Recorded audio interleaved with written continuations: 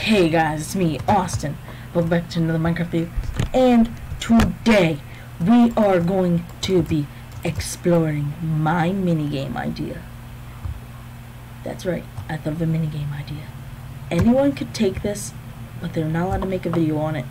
Unless they're doing it as like, if they're like on a server and stuff, but they can't claim it as their own. They have to say that they got, the, the game idea was made by me, this person, right here me unless someone else has already done something like this. Which most likely maybe maybe not documented. So here we are. Slow turn reveal jump! This that's it. That's my minigame idea. Now I know it looks stupid because it's just a block it's just a box but it's what it can do that counts.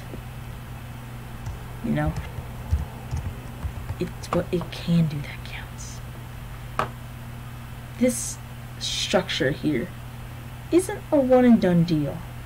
It can be as big and as crazy as you want. This game is meant to be expanded on way further than it should. Let me show you now. Alright, so we have the infinite box. That's I was thinking of a name to be like the Tesseract box or like the uh, the Ultra box, but like I just went infinite because technically that's like the whole deal of the game. It's infinite, or well, that well, it isn't infinite. It's just meant to seem like it's infinite because of what you can do with it. That's right. okay, so we have ourselves the little entrance area, just a little tiny entrance area, nothing big deal. Then we have the chest, you know, you would pay and get your pass to go in. Now, I forgot to do one thing, but I forgot to put up the lever, you know, to open a door. So I would go in and get my ticket or whatever, and open it, and then this would close behind me, of course. And this is the part of the house.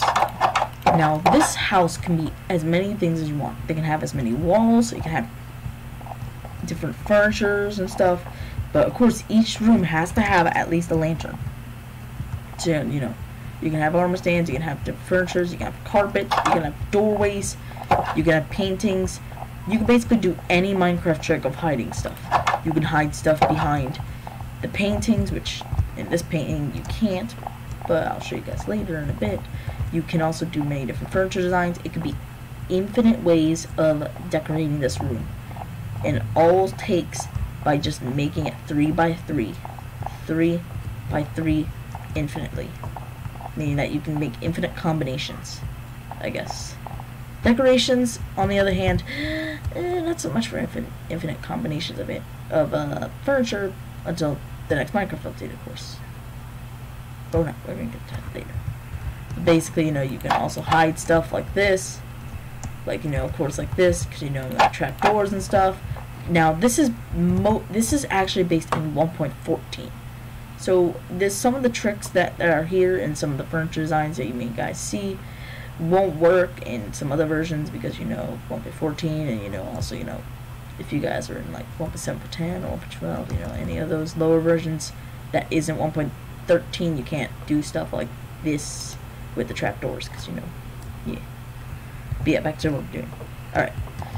So, to recognize each floor, you would have one ladder. A ladder that would take you up to the next floor. You would go up there, and you're searching for something in these rooms. Like, you're not just going to be stuck here infinitely. You guys search for something in a limited amount of time. I don't know what, and I haven't hidden what it is, that's because that's a begin that's still a process I'm being made of what could actually be the thing like the thing you have to find and stuff but eh, who cares? It's gonna be pretty good I know. It's gonna be it's gonna be a good mini game I know it is. I know it will be. It just needs some implementing and stuff into it. So basically you can find things like that. Oh I know where that's from now. You can find doorways so you can make different hallways and stuff. You can add cobwebs just annoying people you got some different areas and stuff. You and also some rooms could just be empty. I, I forgot that room actually. You could just have doors that lead to nowhere, and then you may be wondering, oh yeah, where am I gonna go? But this is why this game is meant to be played in 1.14 for stupid stuff like this. And here we are, next room. Now, of course, guys, remember, you can do whatever you want, but you have to stick to a specific pattern. You can make walls, doors, and stairs. You you at least have to make a way to get to the ladder. It can't be not like, oh yeah, there's no way to ladder. You have to uh, break a block. No, you can't do that. That's one thing you can't do. Because, you know, you're not allowed to break blocks. That's the one thing you can't do. You're allowed to interact with them, but not break them. Unless it's redstone, where then, like, redstone ores, which then you can smack it and start breaking it, but don't actually fully break it to, like, get it light up and stuff. You know that's the thing, you know for all you redstoners, you can that's allowed. Redstone ore and not actually fully breaking it is okay. You're allowed to you're not allowed to fully break blocks. You're not allowed to go like you're I'm like imagine I'm in survival you're not allowed to go this. You you can't. It's not allowed. So yeah. Yeah. So uh, up we go to the next floor and we have a very interesting floor here. We can do whatever you want. We have chests. You can hide stuff in chests that could be used as keys or you can hide stinking things in there. You can make many different furniture designs. Like this design right here is like kind of like wine is. You know, the wine. You know, because this is supposed to be like an olden house kind of style. Oh yeah, did I forget to mention you can put in any style you want? I just put it, I just put it with dark oak and spruce wood because it looks good. So basically, you can go for different designs and stuff, where like maybe certain things are there. Like this is like kind of like an elegant house or something.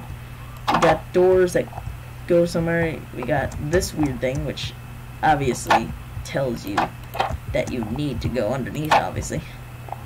And you can find secret rooms like this, which let's say if there was another floor, I would put a ladder here, but you don't have to. And then you can also make painting doorways too, of course. You gotta have the old OG painting doorways, but no bed things, like because you know, like if you're on a server, that's kind of annoying, you know, if you're on a server, if you do that. So yeah, just recommend not doing the bed trick in these things, but you could. It's just, yeah. We also have uh, different designs like this, the loom used as the thing. Lecterns can be also... Oh yeah, I need to put a book there. I was like, wait, why can't I interact with this? Oh yeah, it's because I don't have a book. So yeah, like, but let me, let's just head back outside, okay guys? Let's just head back out. There's a core design detail about this. Have you guys noticed it?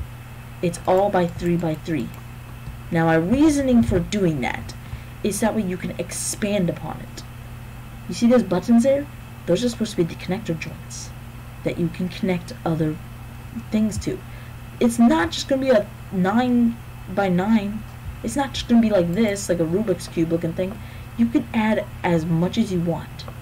That's the point of the thing. And you can have different sections with different themes and styles or blocks.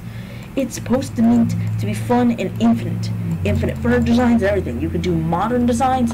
You can do um, you can do rustic designs. You could do like mansion designs. You could do whatever you want. This game mini game is meant to be fun.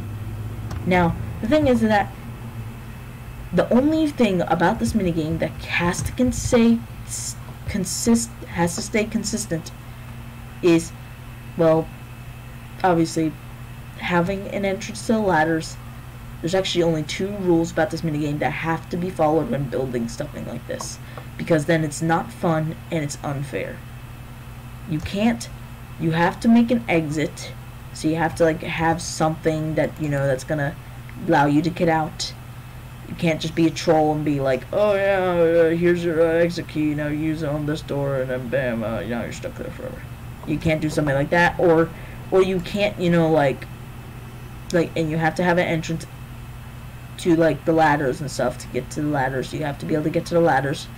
And the last and final thing it has to stay by a nine. It has to stay something like this. The rooms can be as big as you want. It's just the problem is is that you have to stay in a, a three by three kind of thing or then the pattern gets all messed up if you don't stick by making a room if you want to make a big room, that's okay, you can. You can just take out some pillars and stuff. But you have to stay in a 3 by 3 kind of strategy. Because if you don't, then that messes up the whole pattern and it just ruins the whole build as a whole in the whole mini game. part and just making infinite stuff. It has to be a 3 by 3 Yes, you can just take an area, make, like, let's say I make a room, like, here's an example. Let me just grab some of this stuff. Let me just grab you and you. Let's say I'm gonna make a, uh, let's, let's just do this for example. Alright, so let's say I do this, bam. Let's just build a little structure, tiny, tiny version of this. We're building a tiny version of this, okay? So let's say um, this whole thing here is a room. So like, let's just do this as considering as if it's walls. Just make it look like it's walls. Oh, oopsie. I messed up something. One second. I missed up the logical strengths of it all. Alright. So yeah, let's just pretend like this is like my stuff or whatever. Slash boop boop. Alright, let's just pretend that this is what I'm doing, you know, and bam, there, there's my, uh, this is my, these, like, pretend this is a full wall and stuff, pretend this is like a room. So, like, let's say you don't want to have a three by three room, what you can just easily do is you could just, you have to, like, you still can do this, you have to do this. You can't get rid of these structural parts like this. These parts have to stay because that makes it seem like a three three by three. Now, if you don't want a three by three room, so let's say instead of me wanting, you know, just having a three by three room here, let's say instead of not be not being forced to put a wall there, what you could do, let's say if you want to make a like a like a like let's say you want to make these four things into one room. Well, you can easily do that by just doing this you just do this, you break the, the middle part of it that connects, that is the center point of these, these rooms, and then what you do is that you just replace this here with a, uh, with this, with one of these, with one of these, and then bam. Now you have a room where you have four different spaces. See, that's, that's not that, see, that's pretty easy. You just have to keep it in a 3 by 3 sort of format where you have to have this and then bam, this, and bam. You just got to keep it that way so that way it keeps a consistent pattern that doesn't become a problem when trying to make more rooms. It's meant to be fun. It's meant to be consistent and in, in crazy. It just has to have a 3 by 3 pattern and it has to have entrance. Basically, there are only three rules, which it has to be which number one, have an entrance to your ladder.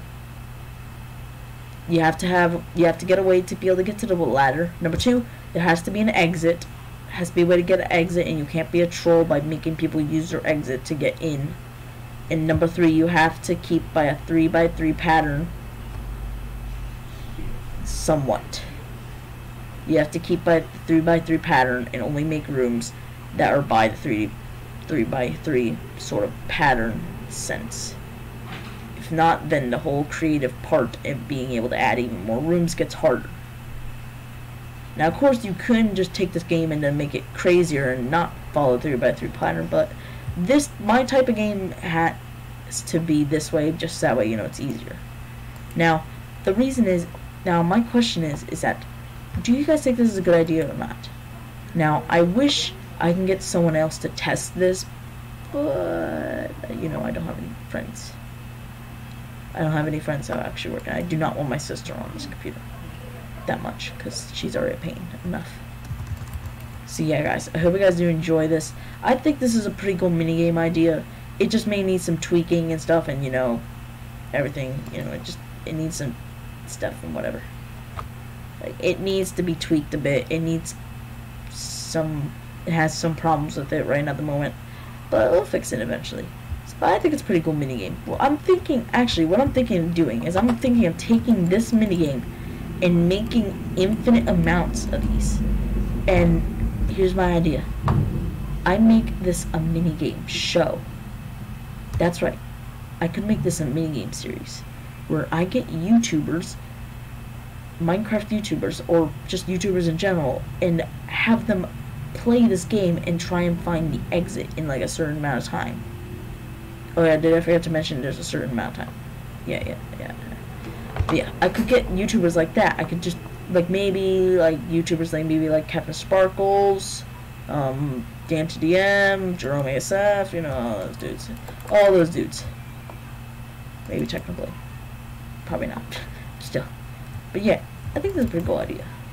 So yeah, I'll so yeah guys, um, what do you think about this? Do you think that's a pretty cool idea, making like a game show based off of an infinite cube box? Where then players have to figure out their way out? Of course it would take a long time to do this because then I would have to make a um a uh, new world or a new box setup every time. But I, I can get it to work, I guess. Of course, the next one was gonna. of course, if I'm gonna do this uh, mini game, this mini game show, I'm gonna have to get um a new one, a new box. Obviously, since I you know I just showed you this combination of boxes. I can't I can't show you guys unless they're playing. You know, you gotta do that. So yeah. So yeah, guys. I hope you guys enjoy. Please make sure to hit that like button and subscribe. And I'll see you guys next time. Goodbye, everyone.